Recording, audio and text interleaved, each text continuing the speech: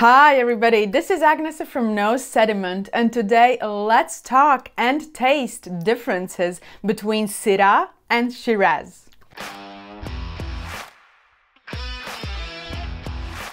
I believe Syrah is becoming an increasingly popular red grape variety nowadays. And interestingly, with a few exceptions, it still makes quite affordable yet highly exciting wines. However, sometimes I get the question, what is the difference between Syrah and Shiraz? Are they the same grape coming from different terroirs or are they completely different grape varieties? So let's find out and finish it with a nice tasting. Syrah is a red grape variety closely linked with Northern Rhone wine region in France. A relatively recent DNA testing has confirmed that it is an offspring of two old Rhone grape varieties, establishing that its home is indeed Rhone Valley. And according to historical records, it was James Busby who introduced Syrah to Australia in the early 19th century, where it is now known as Shiraz and is the key red grape variety. Australia is also proud for the oldest Shiraz vineyards in the world, some dating back to the 19th century. So indeed, it is the same grape variety, however, under different growing conditions and winemaking techniques, it can show different characteristics. As discussed, Syrah or Shiraz can be found in France and Australia. In the 1990s, it became increasingly popular in the United States, driven by winemakers known as the Rhone Rangers. But I can safely say that today Syrah or Shiraz is an international grape variety. It is widely grown with great examples produced in New Zealand,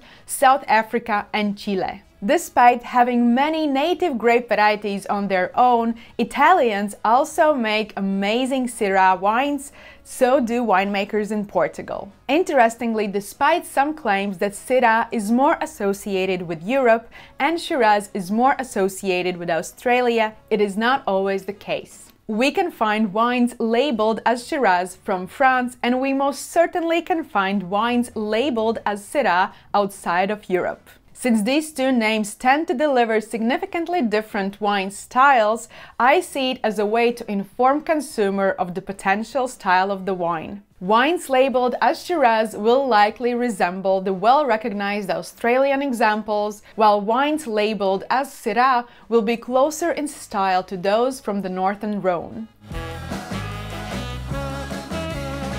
Some people find that Syrah shares similarities with the famous Bordeaux grape varieties because it also delivers quite full-bodied and dense wines. However, for me, it seems to have completely different profile. While the tannins are elevated, they almost always feel softer, more rounded and mouth-coating in the gentlest way possible. Flavor-wise, Syrah shows range of blue and black berries, often accompanied by notes of black pepper and leather, showing inviting spicy character. Despite its dense fruit profile, I always feel something earthy, not necessarily funky, but almost animal-like, especially in wines with significant bottle age. The greatest examples of Shiraz tend to be highly dense and rich without losing their freshness or energy. They have a riper fruit profile, more blueberry, sweet wildberry driven. One distinctly different characteristic of the Shiraz style for me is the tannin.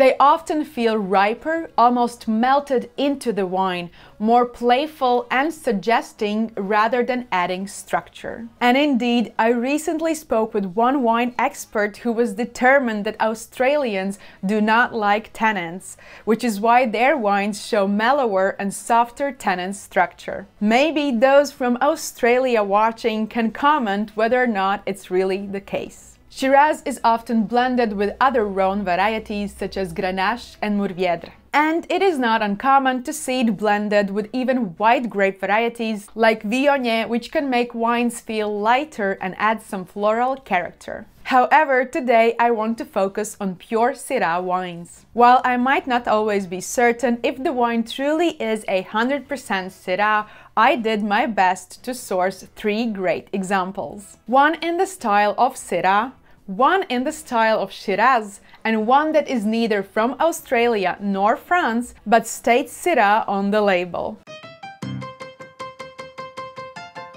So let's taste the wines and as always, these were poured by my cameraman, so I don't know which one is which. Wine number one. It is just so intense on the nose. And there's ripe fruit profile, so it shows blackberries and blueberries and uh, ripe black cherries. But there's a lot of smokiness, toastiness to it, some vanilla clove and cigar box. It is safe to say that this wine has seen some oak. Hmm. However, color-wise, it is not as dense or rich as sometimes Syrah wines can be. Um, but let's taste it. So this is what I was talking about, the mouth coating, yet very gentle, soft tannin structure. I feel the tannins and they are really playful and kind of flirting a little bit, but in no way are they aggressive or, or or sticky or, or kind of punching you. There's beautiful fruit presence on the palate as well. I don't think this wine shows the really ripe and kind of almost jammy fruit profile that I would maybe expect from Australia. Um, however, it also does not have the structure and maybe the acidity that I would expect from European examples. And when I say European examples, I of course naturally think of Northern Rhone uh, in majority of cases. So it seems to be made in that kind of Northern Rhone style, but climate and terroir has put its mark on it. Overall, I think this is beautiful, inviting, and flirtatious wine that I just love in my glass. And despite it having quite prominent oak on the nose and the palate, the fruit is actually more persistent on the palate and I just enjoy it and you will want to have another glass. So I will give this wine 93 points. Let's move to wine number two. Oh, wow. It is black. It is black in color. I cannot see through and that richness and that concentration of the fruit, guys, this must be Australia. You know, it is filled with blackberries inside and it seems so fresh. It's just big, big wine on the nose. And I mean, it has a lot of sediment as well. You can just put this wine on the dough, bake it, and you will have blueberry crumble. Hmm. And here in this very example, you can see the fruit is shining. It is really beautifully fruit driven. Let's taste it. And as I mentioned in the introduction, despite it showing off so big and opulent on the nose, on the palate, it actually has a lot of energy and is quite fresh. It shows a bit of that ripe red berry character as well on the aftertaste. Not only black or blue fruit, also that kind of really ripe strawberry and raspberry, you know, that you pick in the late uh, autumn. And here, actually, the tannin, I would say that the tannin level is a bit lower than for the wine number one. However, it is definitely not as mellow or as melted, maybe as I explained in the beginning. It does show structure but it is not as persistent as with wine number one. It starts to show some eucalyptus, some garrigue on the nose, because on the first nose I just felt only fruit, which is great for the wine. Hmm. And it is kind of starting to open up some layers. Absolutely amazing. I like this wine. Beautiful tannin, beautiful structure. I will give it 95 points. Let's move to wine number three. Hmm, this is the shyest of the three. It is not that it's neutral, but you have to catch it, you have to talk with it, you have to meditate with it. But the nose of those berries, of those fruits, it just seems so delicate. Definitely not showing off, kind of just a shadow of a beautiful woman passing by. Hmm. Lovely nose. And it is so inviting. It is kind of taking you into its web. I love it. It's also driven by blueberries, blackberries, but really in the most delicate way. I feel some floral characteristic as well, but not something white, more like lilac or uh, or uh, orange blossom. Let's taste it. This is the structure of the tannin that I was talking about when I was mentioning Syrah from Northern Rhone. The tannin here is finely grained, mouth coating, elevated, and definitely longer lasting on the palate. And then comes the acidity. It is almost like not necessarily sour cherry, but red cherry driven. It is just so long flavor wise absolutely beautiful and stunning wine. And to be honest, I think this wine is a bit closed at the moment. It is beautiful and you can feel the energy and the magnificence in this wine, but it seems that there's so much more to offer maybe in near future and it's like then like an onion you have to peel the layers off to kind of come to the real to the real get to know the real wine I love this wine. It is just so elegant. However, it does show muscle and it does show character. It's not something you just, you know, drink and forget. It's it, it kind of stays into your mind. I will give this wine 96 points and I think it can age for another 10, 15 years easily.